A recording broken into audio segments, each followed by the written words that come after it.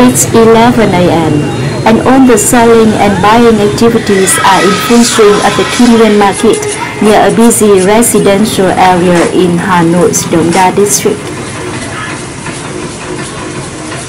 Hoạt động này có được ờ, hơn năm nay rồi, nhưng mà bây giờ thấy mô hình ờ, đáng được để nhân rộng nên là nhiều rất nhiều người hưởng ứng. Trước hết thì là có rất là ít nhưng mà bây giờ là rất nhiều ờ, thành viên bà con tham gia.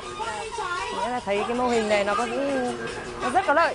Thứ nhất là vừa bán hàng được lại vừa có thời gian để mà tập luyện sức khỏe. Thứ nhất là cho rất tốt sức khỏe xương khớp, nó đỡ mỏi mệt sau khi làm việc. Xong có người mua thì là bà con lại dừng. Xong lại tập. Nó rất là thuận tiện ở chỗ đấy. Còn đâu đi nếu mà để đi ra trung tâm thì nói chung là chị em không có thời gian. Tôi thấy là rất là tốt nên tôi rất là hưởng ứng và tôi cổ vũ nhiệt tình. Thấy người nó khỏe cháu ạ. Bởi vì tuổi 60 mà cô thấy tập được như thế này rồi thì sức khỏe nó rất là dễ chịu. Xương cốt nó đỡ đau. Cái này thì trước kia là chị em không có nên cô không biết. Thế đi qua công viên, mấy này đi qua những cái chỗ mà chị em người ta tập theo bài bản đấy. Thì các cô cứ ước mơ.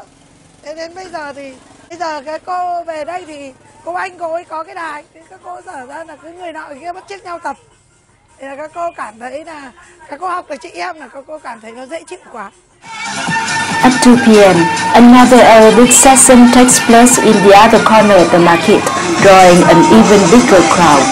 Giờ này của các cô tập rất là hợp lý, không ảnh hưởng một tí gì. Ngoài ờ, giờ xong cô nghỉ, thế là nghỉ xong là tập không có ảnh hưởng đến, xong là cô tập xong rất sảng khoái, mọi người đều sảng khoái, xong lại đi vào bán hàng kinh doanh bình thường thôi. Đấy.